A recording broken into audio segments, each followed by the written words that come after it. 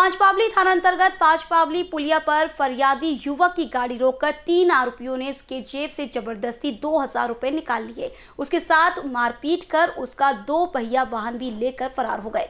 फरियादी ने इसकी शिकायत थाने में की। पुलिस ने तीन आरोपियों के खिलाफ मामला दर्ज कर उन्हें गिरफ़्तार किया है। पुलिस सूत्रों के अनुसार उपलवाड़ी निवासी पारितोष निराई मन्ना ये पांचपाली पुलिया के किसी काम से गोलीबार चौक की ओर जा रहा था। उसी समय 28 अगस्त को आरोपी नरेंद्र उर्फ़ निक्की द्वारका प्रसाद विश्वकर्मा, वैशाली नगर, वासुदेव ठोके के घर किराए से रहने वाला अनिकेत उर्फ़ टिन्नू रवीद खानेकर और आरोपी श्याम उर्फ़ बाबू पुरुषोत्तम कुसरे, पचकुआ मंदिर, वैशाली नगर निवासी ने फरियादी पारितोष को रोका और उसे कहने लगा कि हम एल फाइनेंस कंपनी के कर्मचारी है। आपने गाड़ी का किश्त नहीं भरा, इसलिए आपकी गाड़ी सीज की जा रही है। आरोपियों ने इस दौरान उसके साथ गाली गलौज के साथ ही मारपीट भी कर उसकी जेब से दो हज़ार रूपए छीन लिए। फिरियादी ने आरोपी के खिलाफ शिकायत दर्ज की, जिसके बाद पुलिस ने मामला दर्ज कर जाँच शुरू की। सभी आरोपी पांचपावली के थाना परिसर में पेट्रोलिंग के दौरान संदिग्ध स्थिति में दिखाई दिए। आरोपी महेंद्र नगर में पानी की टंकी के पास खड़े थे। आरोपी के पास M H twelve GE three eight four six वाहन भी था।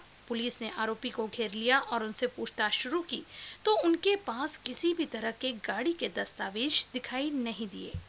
परितोष निराई मन्ना वय चाळीस वर्षे राहणार Ruppalwadi Suradevi road Swaraj town plot number छप्पन पोलीस स्टेशन कोराडी नागपूर.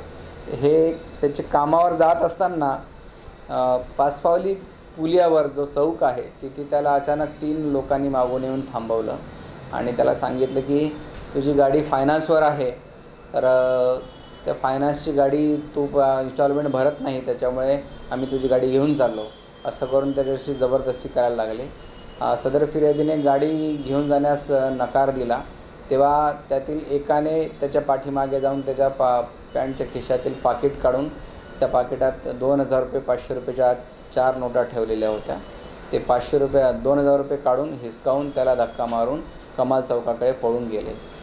ते जात असताना आरोपीने जी गाडी वापरली होती ज्यामध्ये गाडीचा क्रमांक होता हिरोंडा हंक गाडी आहे ती एम एच बारा जी ई अडतीस छेचाळीस.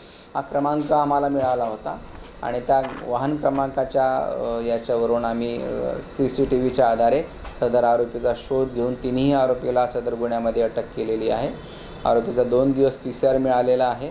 आणि गुन्ह्यात जबरून जबरीने हिसकावून नेलेले दोन हजार रुपये आणि गुन्ह्यात वापरलेले वाहन तसेच तीन मोबाईलसुद्धा जप्त करण्यात आलेले आहे.